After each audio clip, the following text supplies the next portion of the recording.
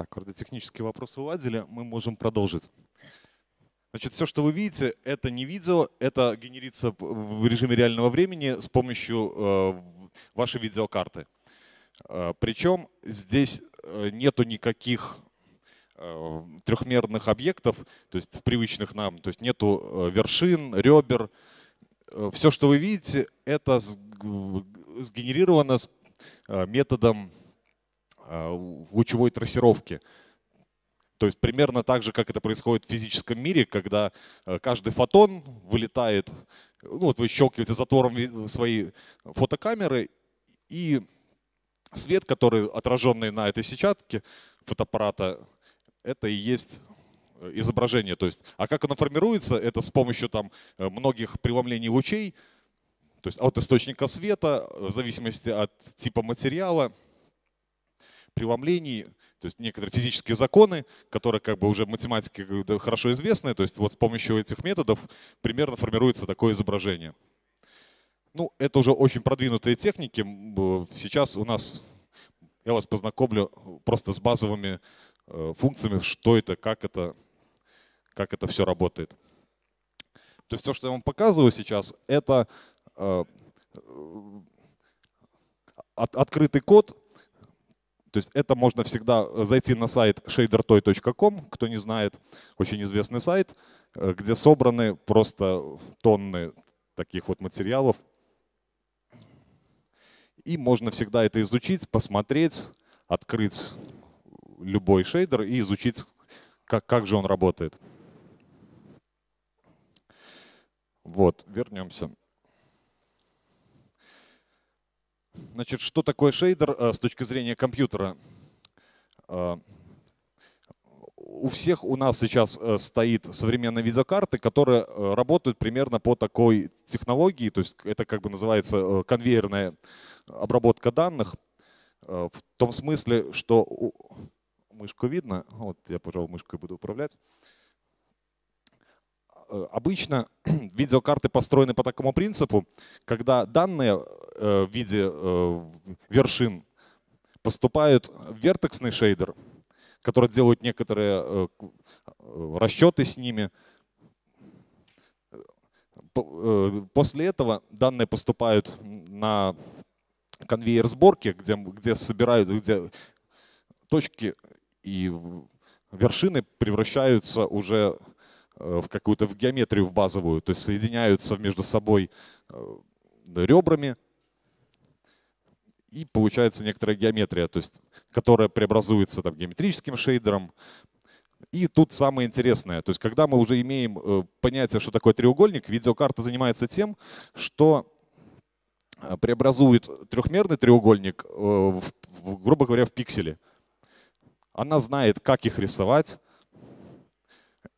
и, соответственно, уже может прикинуть геометрию, то есть, которую ей нужно нарисовать. И тут вот начинается самое интересное. Это э, наш, наши шейдеры, о чем мы сегодня говорим. Кон конкретно то, что мы вот сейчас видели, это на самом деле является пиксельным шейдером. А пиксельный шейдер, он, он же фрагментный шейдер, то есть как бы по-разному называют.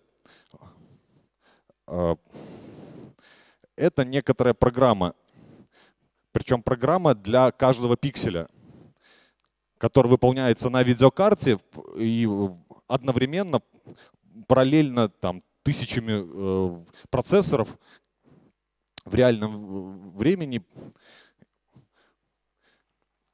Ну, что нам это дает? То есть э, то, что как бы, с точки зрения демосцены, наконец-таки мы уже э, можем отойти от привычных треугольников, надоевшим всем 3D-объектам, а делать что-то такое вот Э, фотокачество, как вы видели, либо наоборот вернуться в старые времена и делать плазмы. То есть сделать плазму раньше на, на треугольниках было ну, чертовски сложно. Ну, а сейчас это делается буквально в несколько кликов. Причем, что э, все, все эффекты должны просто соответствовать одной, одному шаблону. То есть алгоритм этих эффектов должен соответствовать примерно такой схеме, когда мы пишем какую-то программу, которая называется do something. В эту программу поступает всего лишь три компоненты, то есть э, координаты пикселя, соответственно, по x, по y, и время, которое прошло от какого-то момента. И все, то есть все, что э, она возвращает, это цвет пикселя. То есть все, что должен знать шейдер, это, э, то есть все, что он знает, это координаты, а на выходе вы должны посчитать ему цвет. То есть фактически мы, мы можем конкретно для каждого пикселя написать программу. Но перед тем, чтобы знать, какую программу для какого пикселя запустить, тут э, как, э, нужна наша программа. Э, и, ну вот идея того, что как это происходит, то есть мы пишем только пиксельные шейдеры, поэтому треугольников у нас нет. Ну, на самом деле это не совсем правда. У нас есть все-таки два треугольника, которые занимают всю площадь экрана что заставляет видеокарту э, дергать ваш пиксельный шейдер для, каждого, для каждой точки на экране. И программы, соответственно, получаются очень маленькие, короткие, которые мы можем делать, э, упаковывать в 4 килобайта. То есть 4000 байт, то есть это очень мало, это, то есть документ э, Word занимает там в 10, может и больше раз.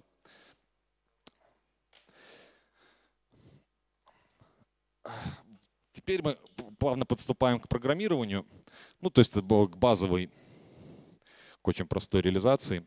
То есть то, что мы будем писать, называется GLSL. Это разветвление от OpenGL,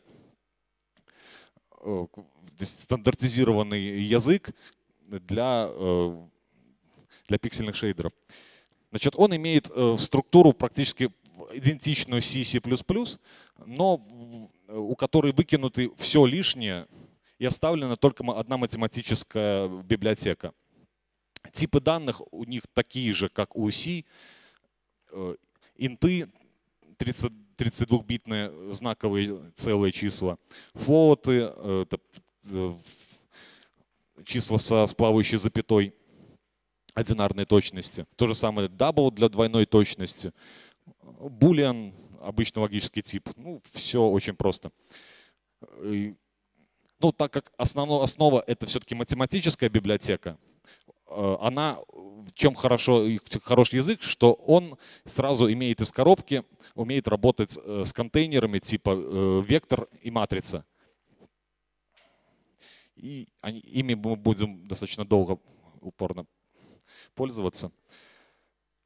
Вектора на самом деле это просто массив. Массив одинаковых значений. То есть он может быть с флотами, с числами с плавающей запятой, с булианами, с интеджерами. И имеет разряд, э, разрядность э, для одной координаты, например, для x.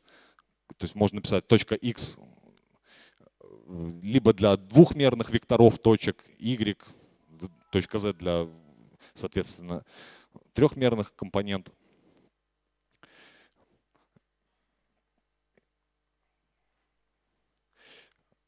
Вот на выходе, на выходе с шейдера мы получаем цвет, но цвет, он как раз таки пакуется в вектор 4. А вектор 4 это вот, как мы э, в предыдущем слайде видели, это просто массив из четырех float чисел, который кодируется э, первая компонента R, red, G, э, green, ну и blue, синий. А, четвертая компонента используется для указания прозрачности пикселя. А, в нашем случае мы его не используем, потому как э, прозрачность используется для блендинга двух экранов. То есть когда нам нужно совместить, например, два экрана, мы можем указать, что какой-то пиксель имеет э, полупрозрачности. Но все кодируется от нуля до единицы. А, почему, почему так, собственно? Почему от диапазона от нуля? Несмотря на то, что float имеет 4 э, байта, то есть, э, казалось бы, с точки зрения э, обычного процессора, это чертовский расход памяти, потому что как бы только на одну компоненту 4 байта, соответственно, на 4 компоненты мы имеем 16 байт. Но так как у нас математическая библиотека, нам раз гораздо удобнее работать с, с числами, с нормализированными значениями. Не так, как э, в нормализациях проходит, когда в байте от 0 до 255. а у нас уже нормализированное значение от нуля до единицы, и мы можем э, просто брать цвет и перемножать на другой цвет без преобразований, и это намного удобнее. С точки зрения точности, э, то есть от нуля до единицы используется повсеместно также и в нормали, для нормализации векторов. Э, ну и в принципе эти числа удобные. То есть я вот коротко, раз у нас такой доклад для более маленьких. Э, просто коротко попытаюсь объяснить, э, что такое числа с плавающей запятой, как они кодируются, принцип работы. То есть это не то, что это как бы обязательно знать, но просто иметь в виду. Потому что даже взрослые дядьки, как оказывается, плохо понимают, почему же она все-таки плавающая, эта запятая. То есть а, расскажу как можно проще. То есть в базовом, если мы откроем Википедию, то есть э, там есть для этого специальный стандарт предусмотрен, он как бы чертовски как-то запутан, то есть я тоже не очень долго понимал, что ж такое мантиса, умноженное на 2 в степени экспоненты. То есть это, на самом деле, формула там еще сложнее.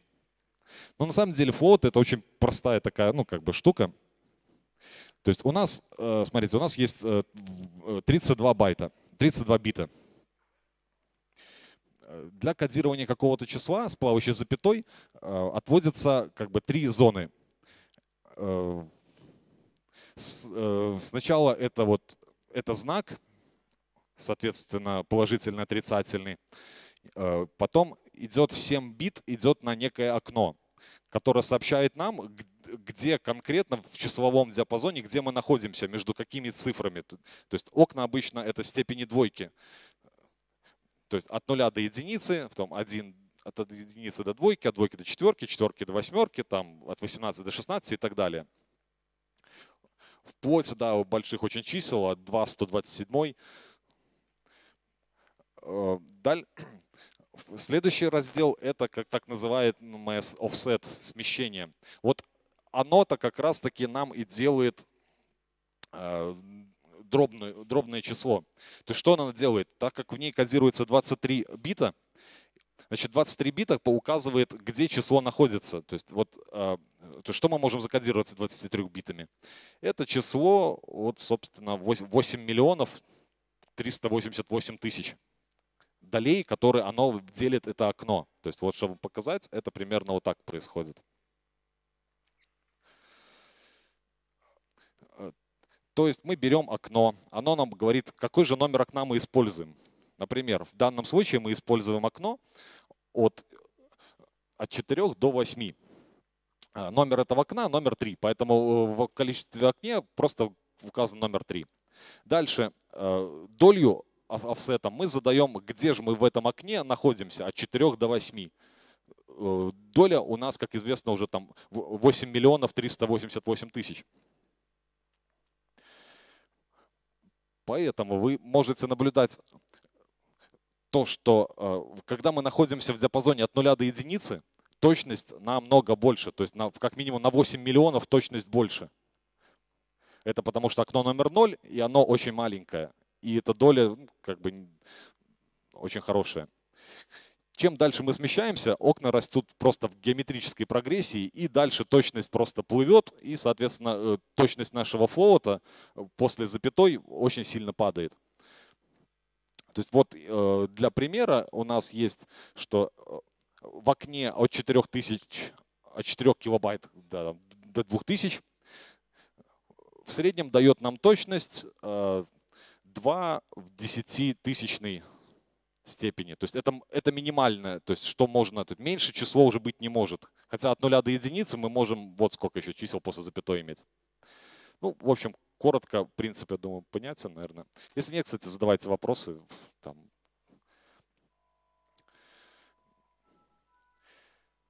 Так, ну вернемся к нашей библиотеке, которая математическая. Это а, те самые контейнеры, то есть они э, синтаксис языка примерно такой же, как в C. То есть мы объявляем тип сначала, например, вектор, потом его имя, vu, Вектор 3 имеет, дает нам работу с тремя компонентами X, Y, Z, либо RGB, либо там STUV, там что-то такое, и либо просто даже по индексу.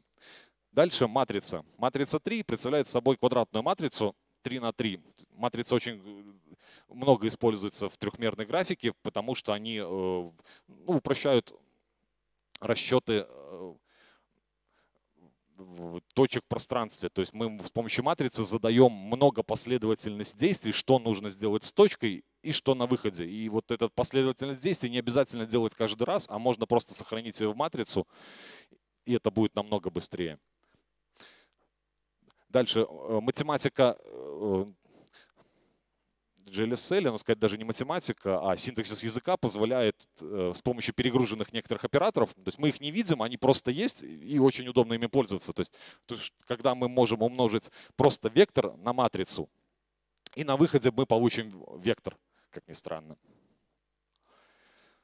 То есть вектор э, v это наша, например, э, точка, Матрица — это как эта последовательность действий с ней. Повороты, масштабирование, переносы.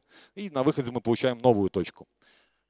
На самом деле это, это вот считается по такой формуле, ну, так намного приятнее, я думаю.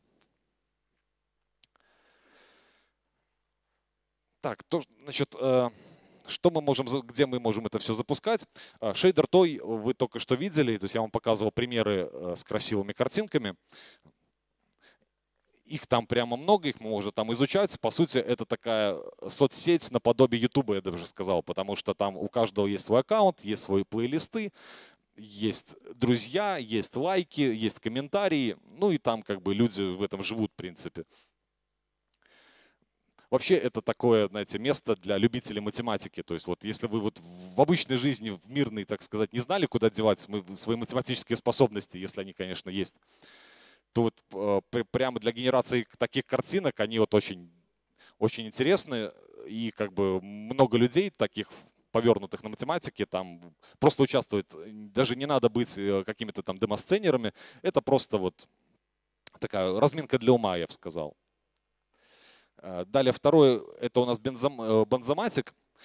Бензоматик это та программа, собственно, в которой мы сегодня, наверное, надеюсь, вам покажем программирование в реальном времени. То есть вот это он и есть. Идея как бы родилась достаточно давно. Посадить как бы двух программистов э, и за 25 минут, чтобы они написали какой-то вот интересный эффект просто с нуля. То есть это такой соревновательный момент, ну, достаточно интересный даже в плане зрителя – не посвященные в эти все дела. Ну, это просто красиво. Это бензоматик у нас был. Так, ну остальные, э, это просто, как бы, если вам все-таки интересно, вы будете копать дальше, то есть это вот слайды останется, вы можете это найти.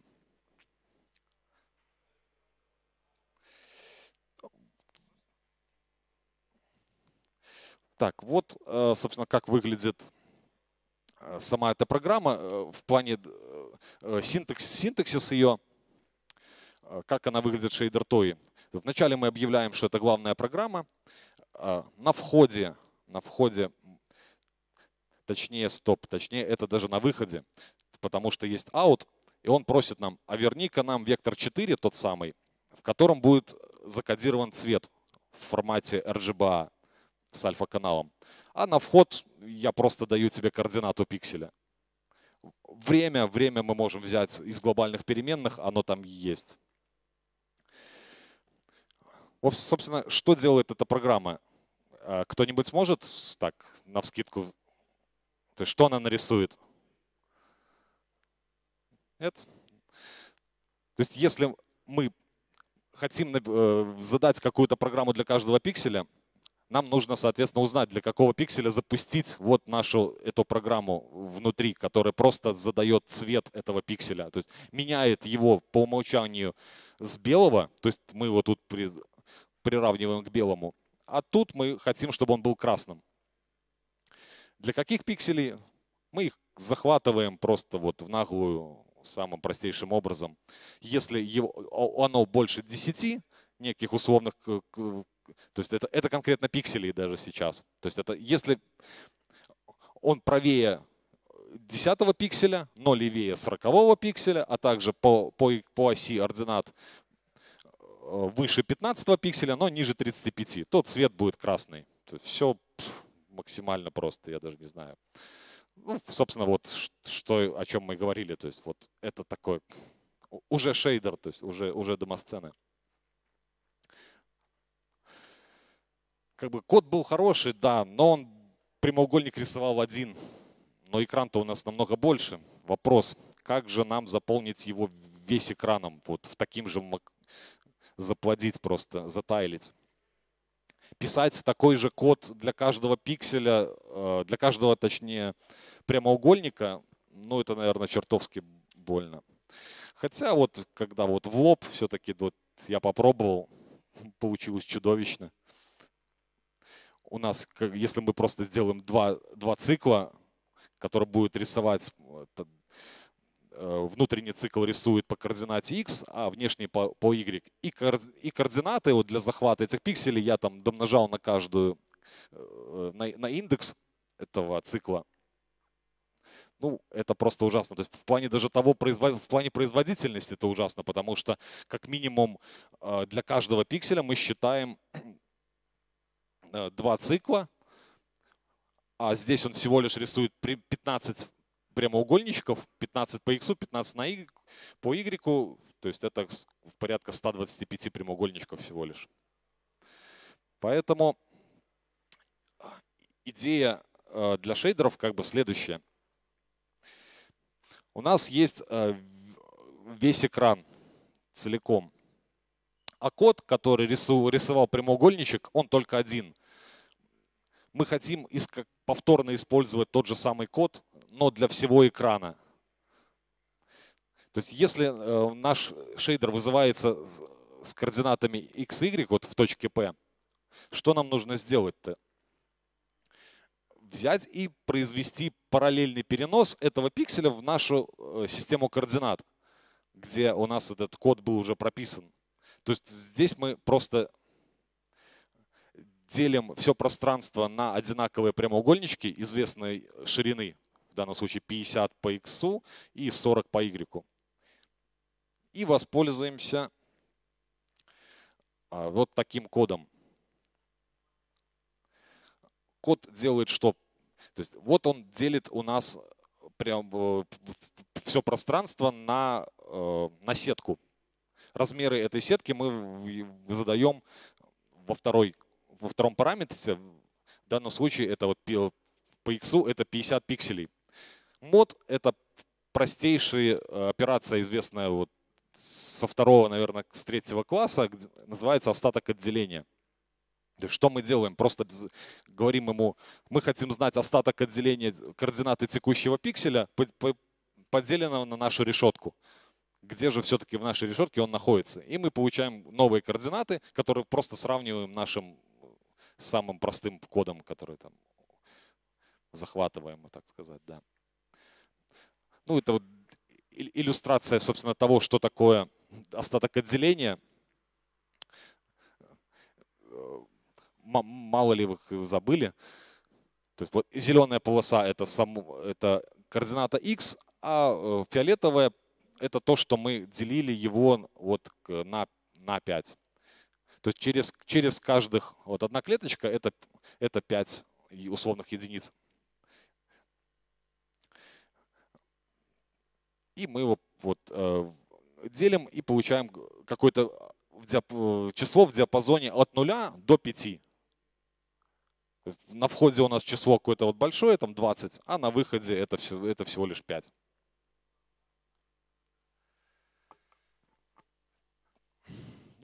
Тут все, все, что было до этого, это как бы все понятно, в принципе, я считаю. То есть, если, если нет, вы там поднимайте руки, опять же, спрашивайте.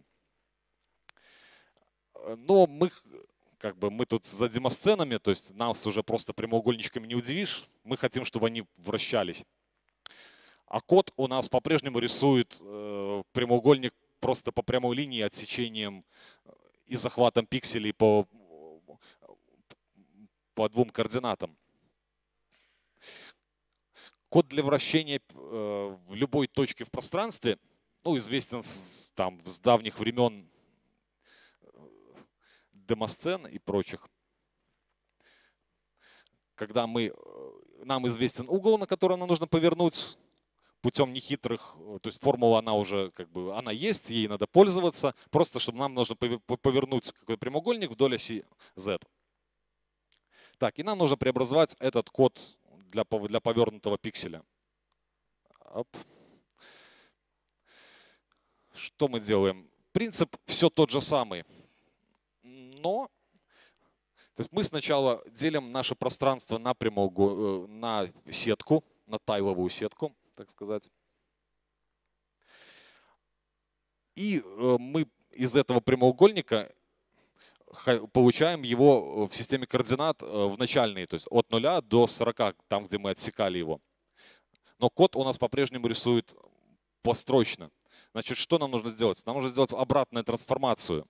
Нам нужно координату пикселя P0 так сказать, э, развернуть в обратную сторону против, часов, против часовой стрелки так, чтобы она как будто бы она там и стояла в неповернутом пространстве.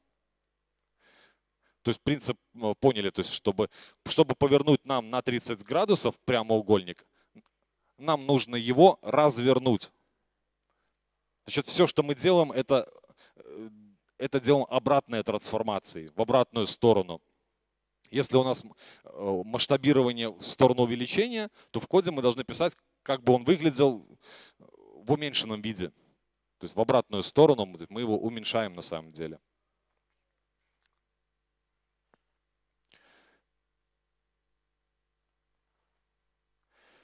Ну вот о чем я вам и говорил. То есть это сам код вот этого повернутого пикселя, чтобы вы убедились, что да, он работает. Можно даже зайти посмотреть. Вот наша э, формула для поворота пикселя. Э, только мы рассчитываем здесь э, центр вращения. Мы просто его задаем, чтобы вот он был где-то в середине нашей тайловой сетки. То есть мы вот здесь умножили на 0,5, так, чтобы он ровно стал в середину, чтобы у нас они вращались И когда мы его развернули на минус 30 градусов, получили э, px, py, мы его разделили на тайловую сетку, и здесь наш старый добрый код, который просто рисует прямоугольник в прямом виде. Все очень просто, ну, эффект как бы есть достигнут. Да, это вот больной вопрос всех, кто мало знаком с математикой, потому что всю, всю, всю жизнь то есть, есть люди, которые говорят, я вот прожил, вот прожил, мне синусы никогда не понадобились, что же я делаю не так? Это что это, волна? Ну, в принципе, да, вы правы, это волна. А не сталкивались с ними только по той причине, ну, если вы по роду своей деятельности не работаете с, с углами, с обычными углами. То есть попытаюсь объяснить, что такое синус и косинус э, на двух, на пальцах. Так вот, по сути, синус это просто таблица, которая нам ищет, то есть мы, то есть это функция. Когда мы эту функцию вызываем с каким-то, э, э, на входе у нас угол, функция синуса заглядывает в свою таблицу, если кто помнит, были такие таблицы Брагиса в школе еще, до, до, до калькуляторную эпоху. И вот э, эта функция, она по-прежнему также и делает. То есть ни, ни больше, ни меньше. То есть, но, но сейчас эта функция синуса уже зашита на транзисторном уровне, поэтому мы ее считаем, она практически атомарная, эта операция взятия синуса от угла. А в таблице записано что? А в таблице записано э, преобразование. То есть у нас есть на входе угол, но чтобы нам получить координаты в декартовой системе координат, мы работаем с, с x и y. Угол тут никак не участвует. Но если мы вызовем функцию синуса с углом, он нам вернет э, координату y. Координата это y соответствует нашему, э, так как будто бы мы поворачивали некий э, отрезок длиной 1 сантиметр, 1, просто единицу. Это наша, как называется, единичная окружность. И она нам вернет э, координату y, то есть синус вернет нам координату y. Косинус, соответственно, возвращает нам координату x. Это этой же, той же самой точки, для той же самого угла он нам вернет просто координату x. Ну, что нам важно здесь знать? То, что и синус, и косинус никогда не превышает э, единицу по абсолюту. Ну, потому что это просто, это просто окружность. Дальше этой окружности ни ближе, ни дальше, как бы никаких значений нет. Поэтому синус всегда возвращает от минус единицы до плюс единицы вместе с косинусом. Тангенс. Тангенс тоже очень, в принципе, полезная функция, когда нам, как, то есть для обратных преобразований, когда мы имеем координату в декартовой системе координат, а мы хотим получить угол. Что мы делаем? Вызываем тангенс, на который на входе обычно задается y, x, он нам возвращает угол в радианах. Вот немножко визуализации, как это, как это выглядит.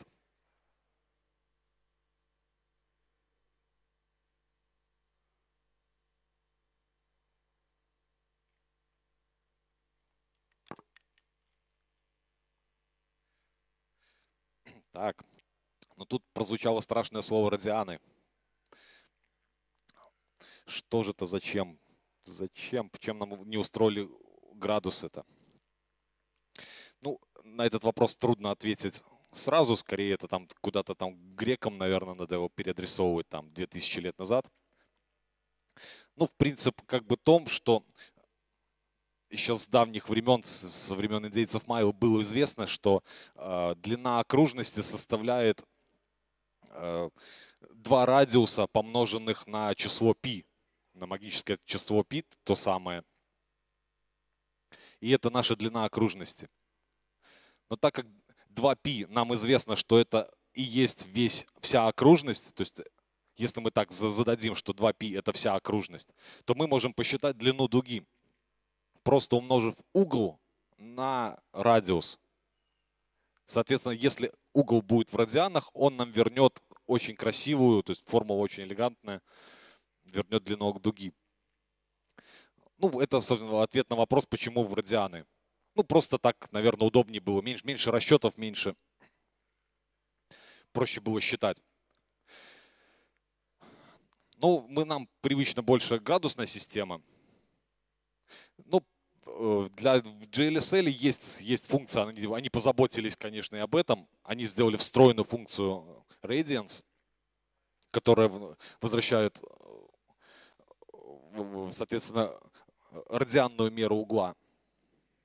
А считается самым простым способом, это мы когда берем угол, делим его на 180, таким образом мы приводим его в нормализованный вид, то есть от нуля до единицы.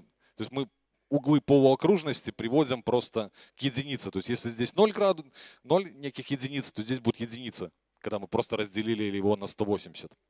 Ну а так-то мы знаем, что 180 это π, Значит, мы просто умножаем его на π и получаем радианы. Все очень просто, это буквально там, наверное, шестой класс средней школы. Другая важная функция GLSL. То есть вообще как бы для, для, чего, для чего мы это все рассказываю? Э, просто как как правило, то есть люди думают, что писать демосцены это надо быть программистом. То есть надо, надо разбираться там объектно-ориентированном программировании, там в инкапсуляциях, э, там в прочих таких страшных штуках. А я вам показываю, что на самом деле, то есть программистом быть как бы не только не нужно, но и вредно. Потому что это все-таки математический язык и, матема... и... То есть GLSL представляет собой некий скриптовый язык, очень похожий, так, такой вы видите в любых математических э, программах для расчета, то есть как вот MATCAD, MATLAB, Maple. То есть у них э, есть принцип точно, точно такой же э, язык, как бы, который привычен математикам.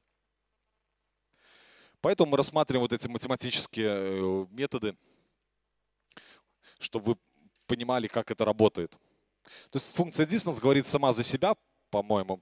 Она просто рассчитывает нам длину, длину между двумя точками. Между, например, точкой А и точкой Б. То есть по теореме Пифагора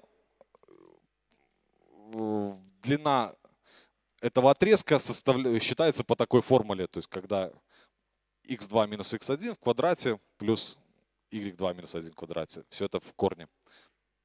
Это наша длина окружности, когда мы хотим знать расстояние между двумя точками. То есть мы задаем одну точку координаты одной точки, координаты второй, возвращаем вектор, ой, расстояние.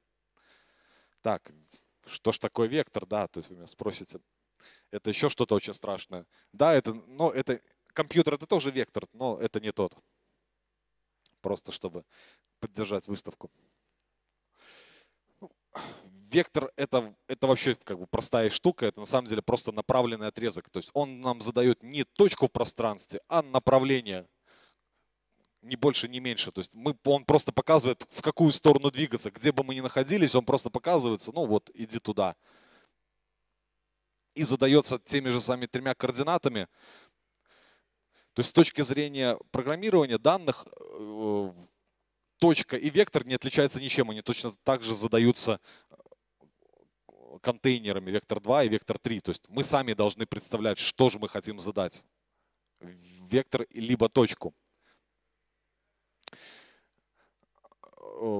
Для, чтобы посчитать длину этого вектора, существует э, функция length, которая возвращает длину. То есть так как чем она отличается от distance, то, что у нас у вектора только одна точка, то есть Вектор всегда, можно сказать, находится в системе координат начала его, а конец где-то в пространстве. Поэтому э, нам не надо считать, задавать вторую точку, она всегда равна нулю. Поэтому... Так, дальше для э, большего понимания, то есть нам просто необходимо э, знать, что такое единичные вектора. То есть единичный вектор это еще в принципе проще. То есть это, э, это такой вектор, у которого длина равна единице. То есть он, когда у нас был большой, э, процесс преобразования в единицу называется нормализация. Когда мы просто приводим его к единичной окружности. Считается это все как бы достаточно просто. То есть когда все координаты делятся на его длину. Но мы этого считать не будем, потому что у нас есть функция normalize GLSL, которая как бы работает вот таким же образом, когда каждую компоненту он делит на его длину. Но почему это нам важно? Почему нам важно именно нормализовывать вектора? Это когда мы хотим просто двигаться в нужном нам направлении с одинаковым шагом, чтобы мы точно могли задать этот шаг и двигаться по нему, потому что единица хороша тем, что любое число, умноженное на эту единицу, дает нам это же число. Надеюсь, вы поняли.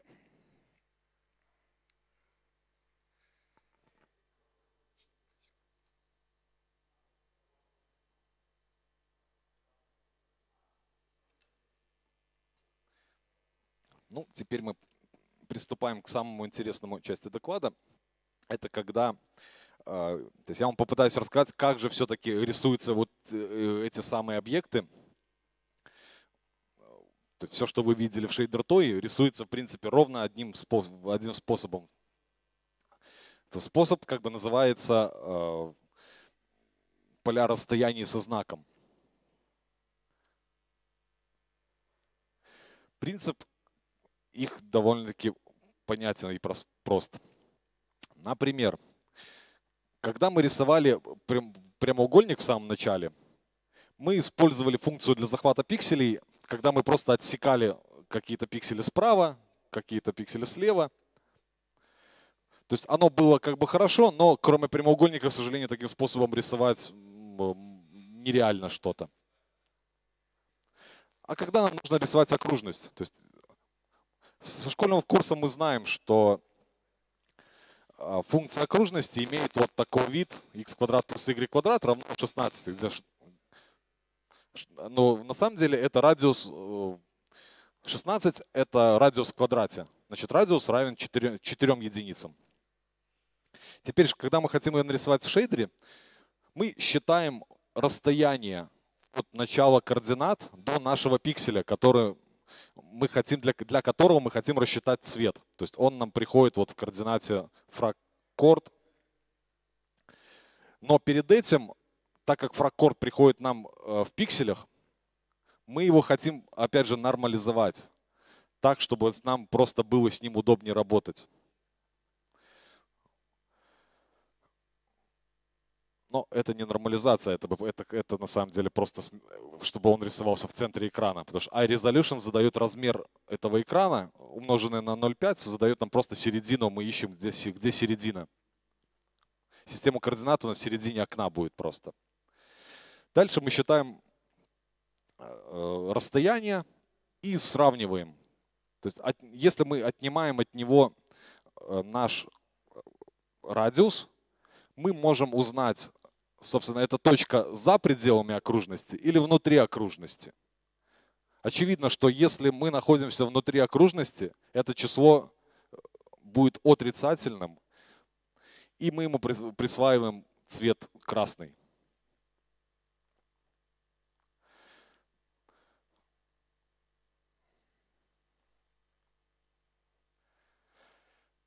Точно такой же способ как бы используется для остальных э, фигур, не только э, окружностей. Но также к такому виду мы можем привести и прямоугольники, кубы,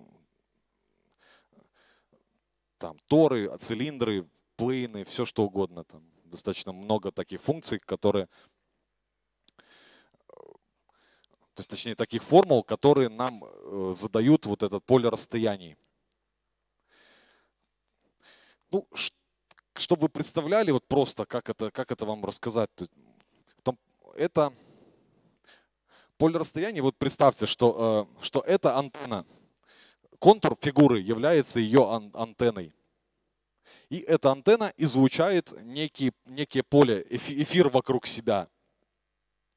И мы, находясь где-то в пространстве, можем улавливать вот этот э, эфир и знать, э, как далеко мы находимся от этой антенны, от контура ее.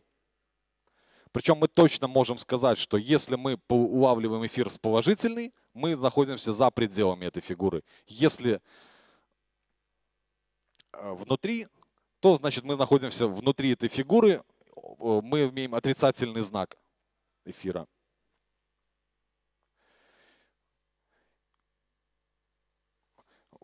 Вот, значит, для каждого пикселя мы, соответственно, считаем э, это, это поле.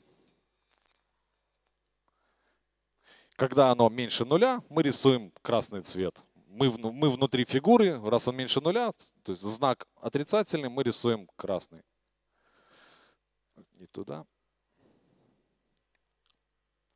Вот, собственно, вот эти формулы, как, как мы можем преобразовать обычные простые фигуры в вид э, полей расстояний. То есть хорошо знакомая вам уже окружность, где цветом, видно вообще что-нибудь, где э, оттенками серого показано, как далеко мы находимся от контура. Вот функция для рисования прямоугольников, квадратов. То есть она очень простая, но не совсем точная, потому что вот в углах мы видим такие неровности. То есть мы, если мы находимся где-то вот напротив угла, то расстояние будет немножко искажено, но как бы это лечится там другими способами. Но, чтобы вы понимали, в принципе, это вот считается простым способом. Модуль числа по x, модуль по y, берем из них максимальное, и единица это, как, это вот э, длина сторона стороны квадрата.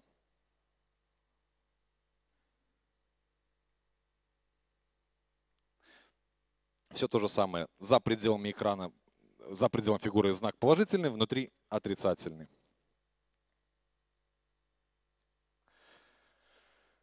Но еще фишка в том, что э, с этими полями мы можем производить некие, некие манипуляции вот, для тиражирования этого изображения по экрану. То есть принцип такой же, как мы видели в начале, когда мы тайлили прямоугольник по всему экрану, размазывая его.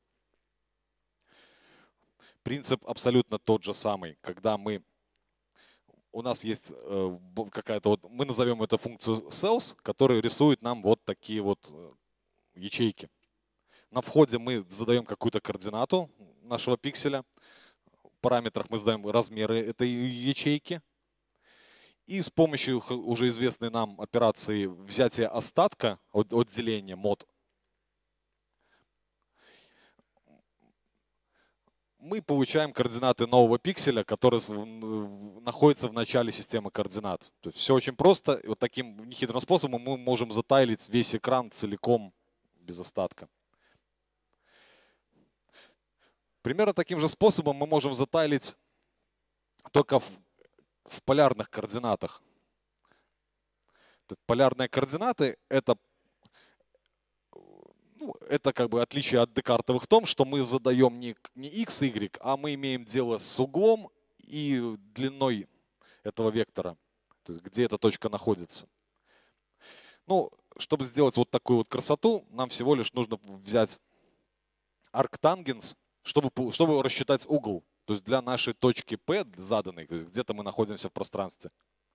Мы хотим рассчитать угол от начала системы координат, где же это, на каком углу он находится. То есть это мы делаем с помощью артангенса.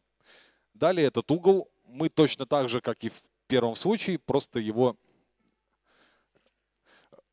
э, с помощью остатка отделения э, делаем какой-то базовый угол, например, 30 градусов, и он будет повторяться каждых 30 градусов. И потом мы делаем обратное преобразование, когда у нас уже есть угол, чтобы нам обратно из полярной перейти э, в Декартову, нам нужно знать э, его длину этой точки от начала системы координат, то есть длину вектора. И потом хорошо известным нам функциями, табличными функциями косинус и синус, когда косинус возвращает нам координату x конкретно, и синус возвращает координату y, но он ее возвращает в единичной окружности – чтобы нам вернуть точку в ту же самую позицию, откуда мы его взяли, мы умножаем его на длину, на длину этого вектора. И вот таким образом э, для поля расстояния мы делаем вот такие смещения, не меняя код.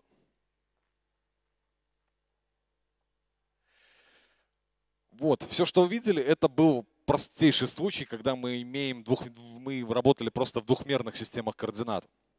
Но мы хотим большего. Мы хотим иметь дело с трехмерными системами координат и рисовать э, вот такие, такую красоту. Для этого нам немножко нужно преобразовать э, код, который был выше. Функция э, и вот, вот это преобразование, ну, как бы алгоритм вот этого рисования вот, вот этих вот изоповерхностей называется реймаршинг. Принцип его, то есть он называется как, ну, как луч и march шагать. То есть пошло от слова. Принцип действия его такой же, как и у ray tracing а. То есть это когда у нас есть в пространстве где-то какая-то камера. И есть э, наша пиксельная сетка. Камеру мы задаем сами. И потом мы методично начинаем обстреливать каждый пиксель этой пиксельной сетки. Э, таким образом, мы задаем вектор направления, в какую сторону мы хотим стрелять этим лучом. За, за этим экраном находится наша сцена. И там, где мы, наш луч пересекается с какой-то геометрией, такой пиксель он и приобретает такой, такого цвета.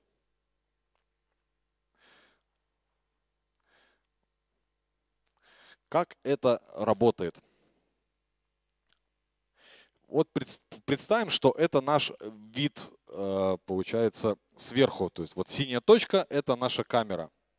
И мы хотим э, углубиться, углубиться в эту сетку вниз, вниз погрузиться во все глубины, так сказать, нашей сцены. Для этого мы, мы имеем направление, и мы хотим узнать, чем он пересекается. Проверять каждую геометрию, ну, это чертовски дол- долго, дорого в плане производительности. Поэтому мы поступаем следующим образом. Так как у нас это все э, поле расстояний, как мы помним, то есть это как бы тот, тот самый эфир,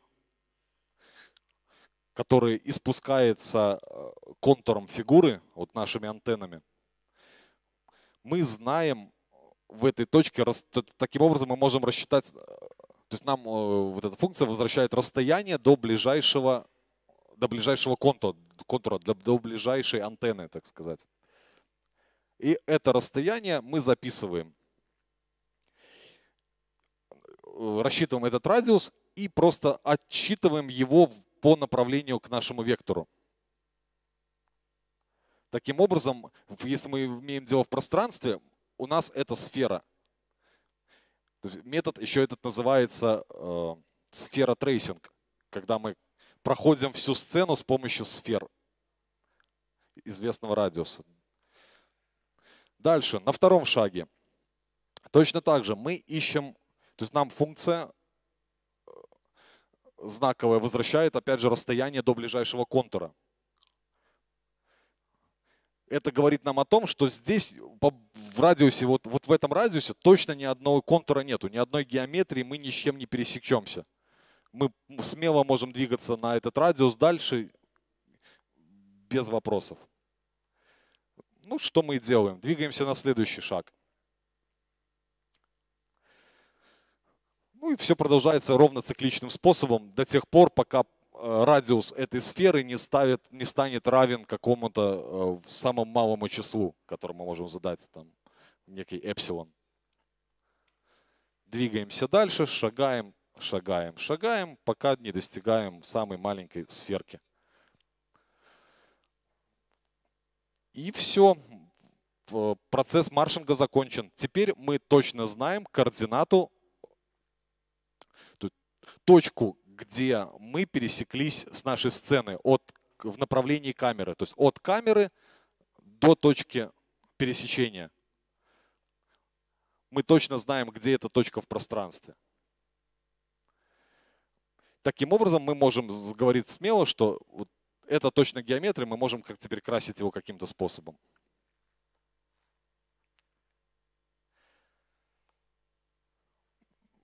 Вот э, самые простые э, фигуры, которые мы можем задавать с помощью вот этих полей расстояний.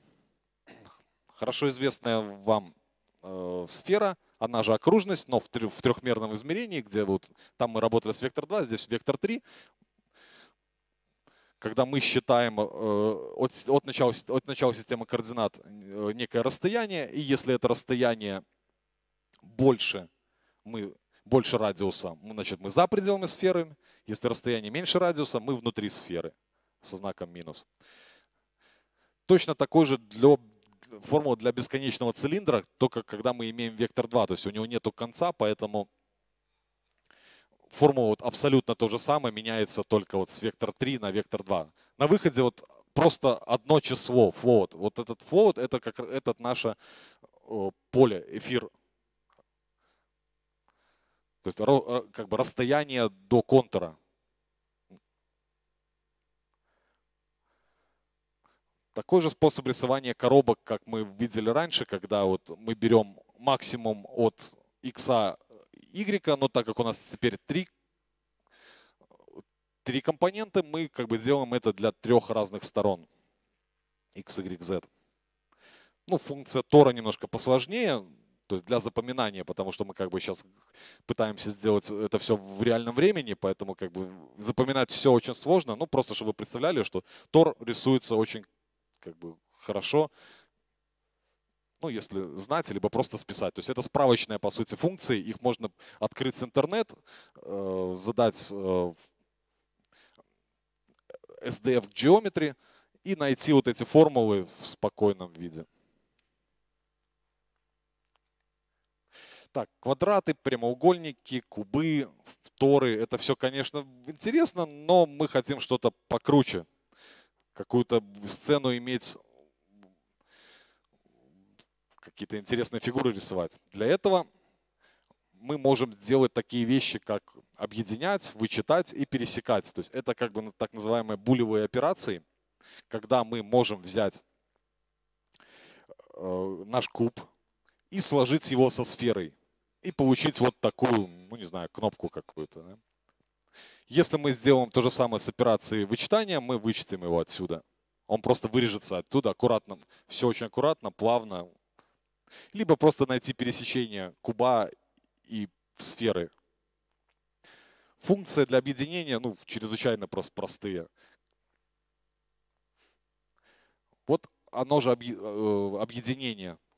Принцип действия, когда мы имеем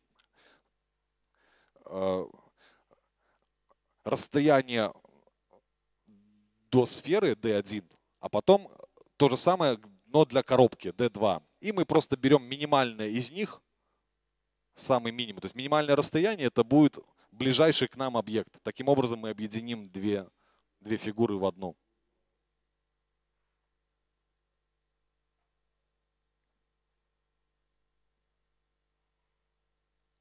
Намного интереснее получается, когда мы хотим вычесть одну фигуру из второй.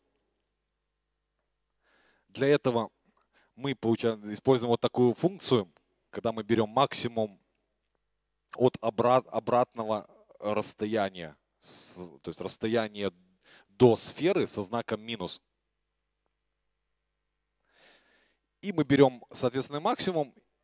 Максимум расстояния дает нам вот этот вот вырез. Что будет, если мы из куба вычтем сферу? Вот это как раз таки наш случай. Мы просто вычитаем одну геометрию из второй геометрии. Все, все это делается методами ремаршинга, это все внутри. Все очень просто. Ну, пересечение, думаю, принцип такой же понятен. Ну, просто хотел вам еще раз напомнить, насколько это все просто. И на, на примере вот Просто есть как такие вещи, которые как бы проще запоминаются, когда им какие-то придумываются какие-то простые э, простые объяснения в виде вот реального мира. Ну, вот я выбрал какую-то аналогию со Звездными войнами. Допустим, допустим, э, Дарту Вейдеру понадобилось там изучить какую-то геометрию на планете неизвестной. То есть, и он это может делать через окно только. Чтобы ему изучить, он, естественно, будет пускать в каждую ячейку этого окна по дрону. То есть вот этот дрон, по-моему, называется BB-8, BB-8. Для этого у него есть какая-то, ну, назовем это там протонной пушкой или протонной, протонной рогаткой. Что она может делать? Она может делать просто шпуляться вот этими дронами вдоль одной линии, то есть это какая-то лазерная указка такая вот. Наподобие, да, вот такой штуки. Он может просто стреляться по направлению, но он может останавливаться там, где, где он захочет.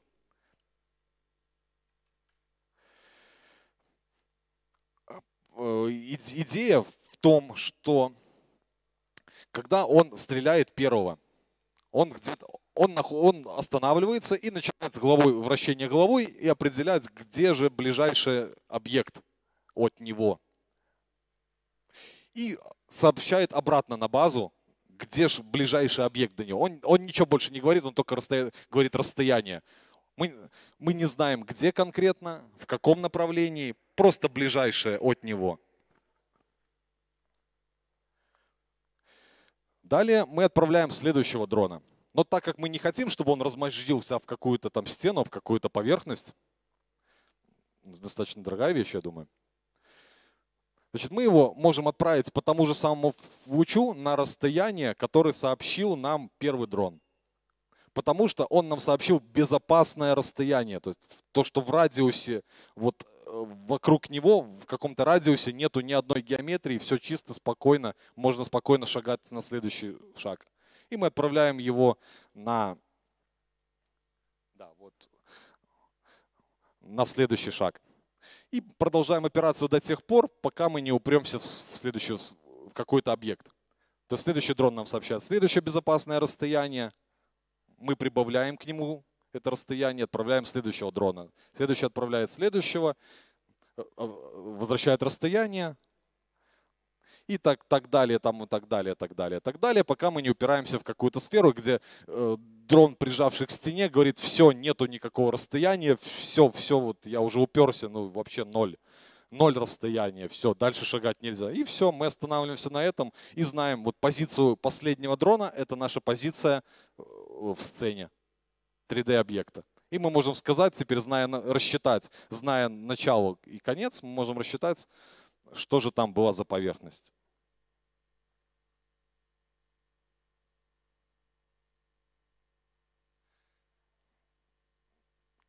Вот о чем я, собственно, и говорил, только в виде, теперь в виде кода. Что нам, что нам тут надо обратить внимание? Вот э, самая главная функция, которая начинает генерировать изображение, это называется, у нас тут main image. На входе все то же самое, то есть мы просим эту функцию сообщить нам цвет этого пикселя, Э, на выход, а на вход только координата. Ну, так, чтобы нам было удобнее, мы просто нормализуем весь наш экран от нуля до единицы. То есть, точнее, от минус единицы до единицы. Таким образом, мы, мы его нормализуем, умножаем на двойку, отнимаем единицу и получаем просто нормализованное значение системы координат. Далее э, задаем Э, точку нашей камеры. Где же, собственно, наша камера находится? Откуда мы будем вести обстрел лучами? Зная эту точку, мы теперь э, будем методично обстреливать каждый пиксель. Поэтому мы так и говорим, хотим в направлении, в направлении пикселя, который вот мы рассчитали нормализованно UV, вот, вот наш входной пиксель, x, y и какое-то э, расстояние z – это наше фокусное расстояние. То есть как близко мы находимся вот к, этой, к окну, который мы будем расстреливать. Потому что, э, само собой, когда, мы, чем мы, когда нам, у нас это окно очень близко, нам приходится расстреливать расстояния такие э, очень большие. Когда это окно подальше, мы можем более сконцентрированно, более сжатый. То есть это как бы задает угол, угол зрения фов. Поэтому это где-то минус 4. Вот этой функции мы делаем шаги. То есть, да, продолжая аналогию, аналогию с дронами, то есть у нас это все вот имеется, для каждого пикселя у нас имеется, например, 64 дрона, которых мы можем шпуляться по направлению. Таким образом, мы хотим их расстрелять всех. Дальше мы рассчитываем точку, куда должен приземлиться этот дрон. Значит, мы берем позицию нашей камеры, мы считаем от нашей камеры, считаем, что это точка 0. Направление мы рассчитали, вот это э, нормализованное направление, то есть вектор имеет то есть нормализованно мы уже там рассматривали, когда, когда вектор равен единице, длина этого вектора. Поэтому мы можем шагать в этом направлении, просто умножив его на какое-то число t, то есть это обычный float. То есть этот t это задает наше расстояние от камеры, откуда мы будем, как далеко мы находимся от камеры. Когда начинаем, что мы находимся прямо в камере, Оп. Извиняюсь. Сначала мы, мы находились прямо у камеры. И будем шагать дальше. Значит, вот наша сцена. То есть все, все, что задано геометрии, находится в одной единственной функции сцена. На входе у него тоже одна единственная параметр – это координаты точки. На выходе он нам возвращает э, ближайшее расстояние от этой точки до, э, до пересечения с какой-то геометрией. То есть безопасное расстояние, на котором мы можем сделать следующий шаг. Тут мы проверяем, когда уже дрон упирается в стенку, и все, чтобы дальше его не пускать дальше, мы просто рвем цикл и выходим из него, когда расстояние очень маленькое. Если же расстояние больше, мы делаем шаг на вот это, на это расстояние. А вот наше задание, вот наша сцена. Сцена у меня тут представляет собой э, те же самые базовые примитивы, которые мы смотрели раньше. Это Тор и сфера. И мы их вызываем для, для этой же точки, просто задав, какого же радиуса мы хотим иметь наш Тор. Внутренний и внешний радиус мы задаем. И на выходе мы получаем float, как далеко мы находимся от Тора. Вот тут то есть мы делаем тоже, ровно то же самое для сферы, но чтобы было интереснее, мы хотим, чтобы эта сфера нас двигалась. То есть нам не интересно, чтобы она была прямо вот в центре экрана, там же, где и Тор. Для этого мы делаем то же самое известное нам обратное преобразование. Поэтому мы от точки вычитаем неко, нек, некий, э, некое значение, то есть в данном случае это какой-то синус от времени, то есть волну, мы просто вычитаем от него какую-то волну по, по координате x, то есть так, чтобы он двигался, наша сфера, по волне, вправо, влево. Есть, и таким образом рассчитываем, где же наша сфера находится. И вызываем э, функцию для расчета сферы вот с, с, этим, с этим параметром. И мы хотим теперь их объединить, сферу и тор, и мы вызываем вот эту функцию объединения, которая просто их объединяет. Ну, все по-моему, все просто. То есть этого уже достаточно, в принципе, вот этого, чтобы участвовать в шейдер шоудауну, вот честное слово. То есть, в принципе, все, все так и делают. То есть пишут ровно, ровно то же самое, немножко с разными параметрами. А вот что еще забыл упомянуть, это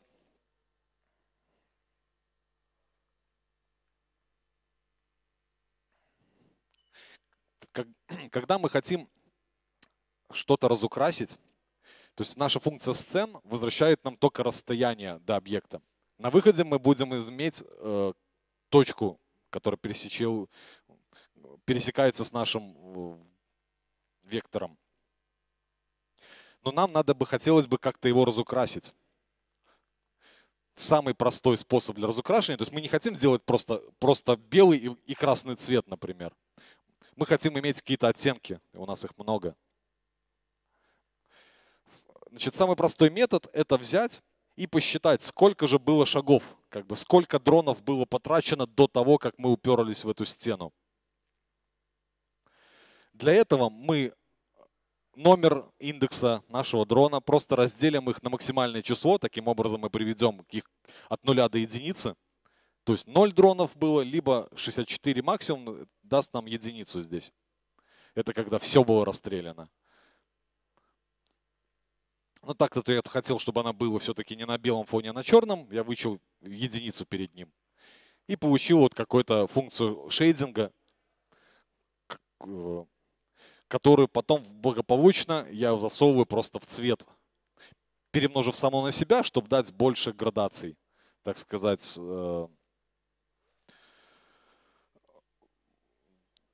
гамма-коррекция это так называемая. Просто квадрат, возведя его, это число в квадрат.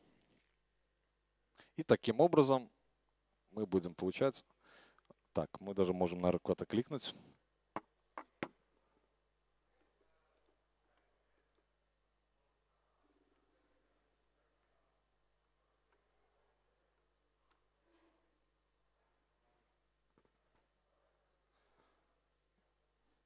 Так, проверим, работает ли наш код. Ссылка не битая. Нет, не битая. Код рабочий. Можно использовать. Вот, можно, можно уже участвовать. Наша движущая сфера по волне синуса. Вот сзади нее тор. Шейдинг тот самый, который вот разукрашивает наши объекты в зависимости, сколько шагов дронов было потрачено на это дело.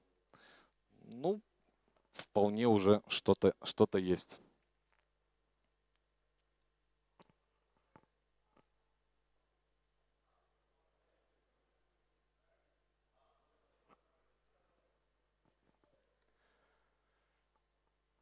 У этого метода есть некие недостатки, ну, назовем их недостатками, но хотя это можно превратить в некое даже достоинство. А, идея в том, что когда наш луч проходит очень близко мимо геометрии, то, так сказать, по касательной, то наши дроны будут сообщать нам, что мы находимся очень близко около геометрии, но мы еще не упираемся в притык, но очень-очень близко возле нее.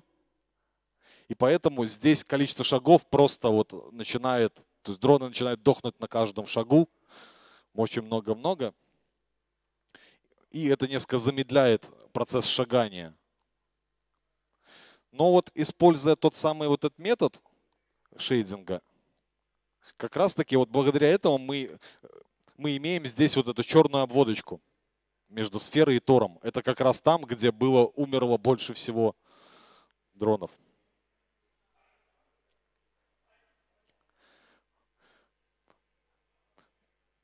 Ну, просто чтобы вы знали.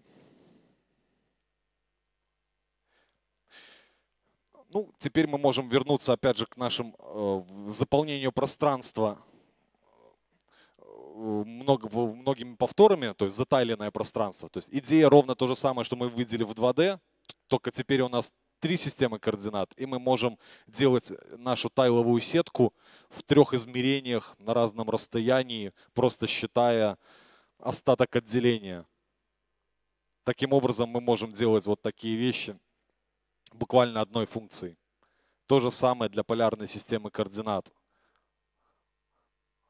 Только это э, полярная система координат имеет только два компонента, то есть x, y, поэтому мы можем делать вот такие солнышки только в одной плоскости. Но вызвав еще раз, можно в эту плоскость сделать несколько плоскостей. То есть несколько раз вызывая одну и ту же функцию, только для, разной, для разных плоскостей.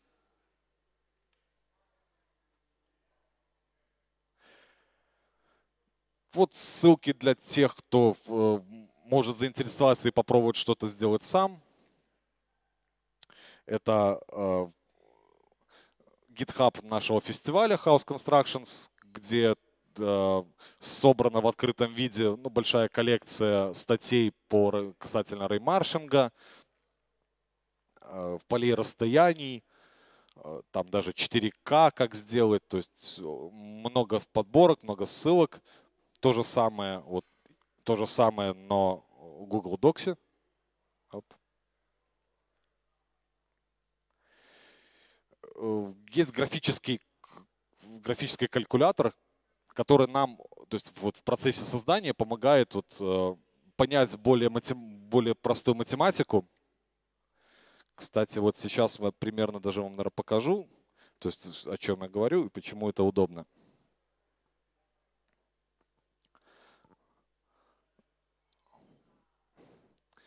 Вот, это такой калькулятор для графиков. Например, вот тут я хотел вам показать, как же все-таки хорошо умножать на, от нуля до единицы, на какие-то числа от нуля до единицы. То есть для этого, например, вот у нас есть, вот если мы просто пишем x, он рисует нам э, график, который говорит нам y равно x. В принципе, это можем даже сразу и написать. y равно x. Но это достаточно скучно. А если мы его умножим на какой-то коэффициент k, причем k мы можем менять ползунком здесь же. И если мы умножаем его на числа больше единицы, соответственно, он начинает поворачиваться до какого-то порогового значения. Если будем умножать на Э, числа, которые меньше единицы, соответственно, наш график падает вниз.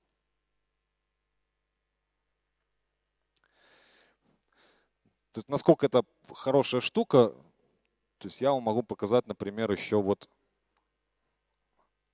например, проверить ту самую формулу поворота, почему она все-таки у нас там работает.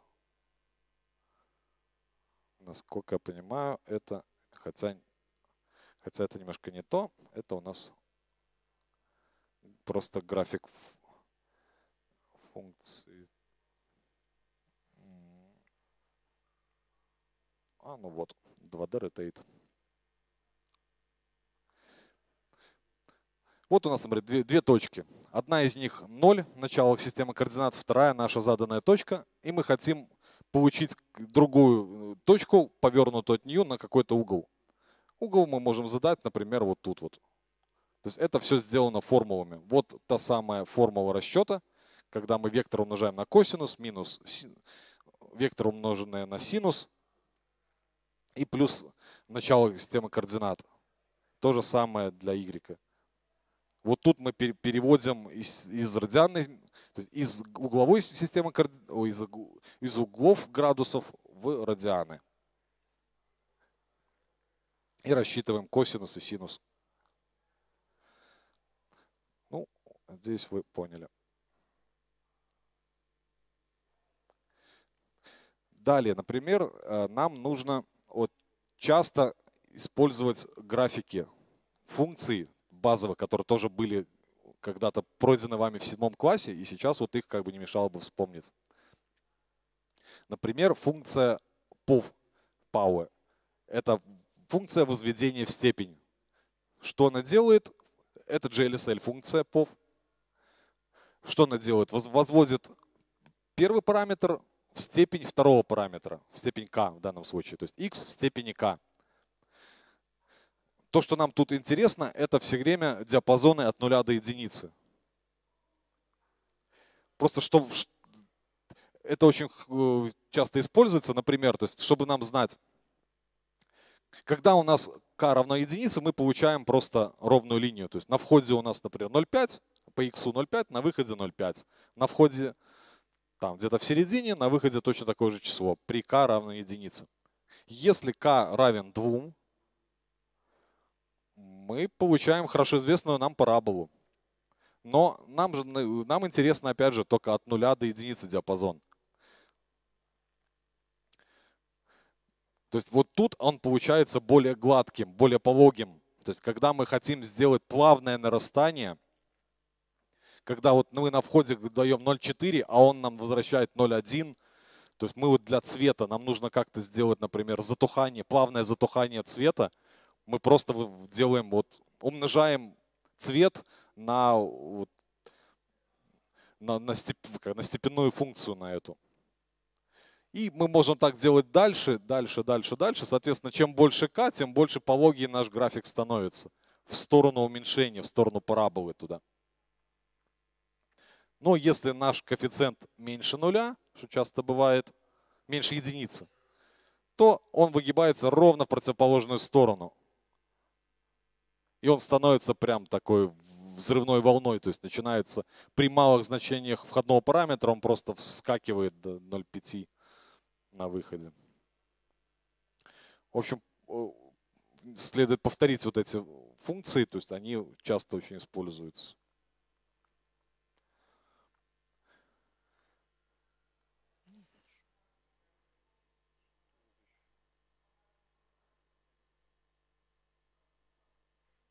Ну, например, вот тот же график визуализации косинусов. Что косинус это все тот же самый табличная функция, о чем я говорил. То есть когда у нас есть единичная окружность, повернутый вектор, он вот путешествует по этой окружности. Мы знаем угол, под который направлена эта точка, и координата x сообщает нам косинус этого угла.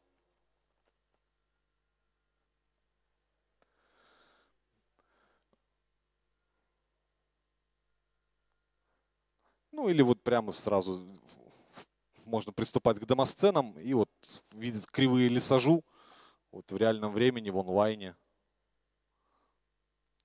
То есть для каких-то вот эффектов можно сначала сделать э, такой прототип математический и преобразовать его вот в шейдеры простым способом.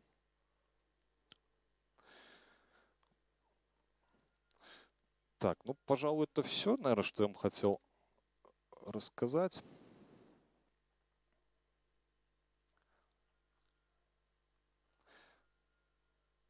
Так, давайте, может быть, сделаем небольшой перерывчик. Я так понял, еще есть возможность поучаствовать э, в мастер-классе. Да, так что эм, сейчас мы попробуем покрутить э, демки на компу машине, чтобы убедиться, что машина работает. У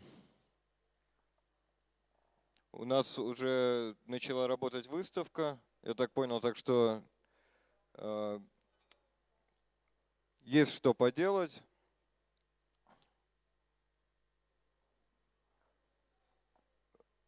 Первый э, раунд э, конкурса Shader Showdown э, состоится также сегодня. Через пару часиков, я думаю, мы сможем начать. Никуда не уходите.